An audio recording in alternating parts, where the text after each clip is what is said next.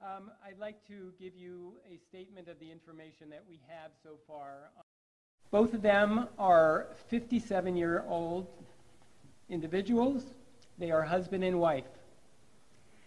The husband, the husband went to Wuhan, China, and returned through the San Francisco International Airport on the 24th of January. He was screened at the airport per the quarantine rules at the time and was found to be totally healthy and asymptomatic, so nothing was going on with him at the time.